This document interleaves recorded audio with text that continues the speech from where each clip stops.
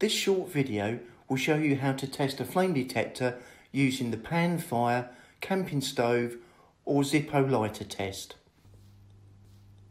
Health and safety. Testing with live flames should only be conducted where it is safe to do so and by personnel with appropriate training and equipment. Pan fire testing. The recommended test for a flame detector is to recreate that used in the relevant standards such as the pan fire test in EN 54 part 10 section 5. As a rough overview, a pan fire test typically consists of igniting a 0.1 metre square pan of n-heptane fuel placed 25 metres away from the detector. Once the flame is established, the detector should be exposed to the yellow flame and is expected to alarm within 30 seconds. Precise details can be found in the relevant standard. In some installations, pan fire tests may not be possible. We suggest some alternatives that may be used as a substitute.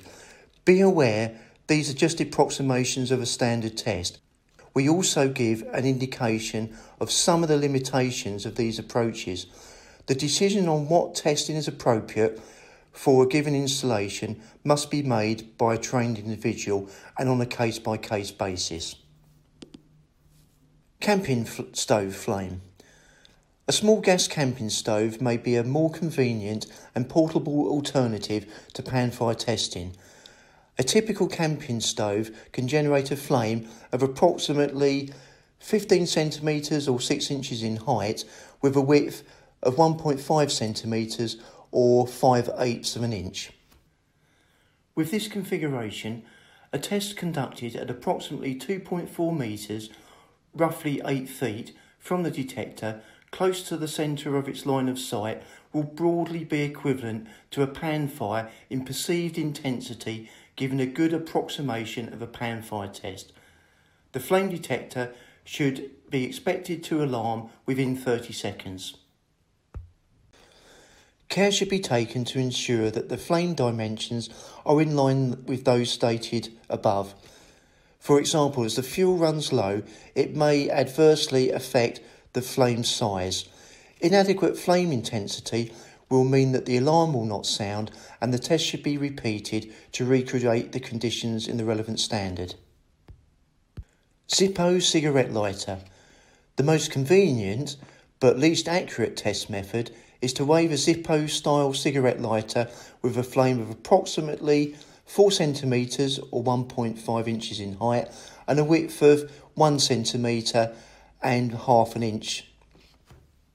With this configuration, a test conducted at 70 centimetres or roughly two and a quarter feet, close to the centre of its line of sight, will approximate the equivalent of a pan fire in perceived intensity, giving a crude approximation of a pan fire test.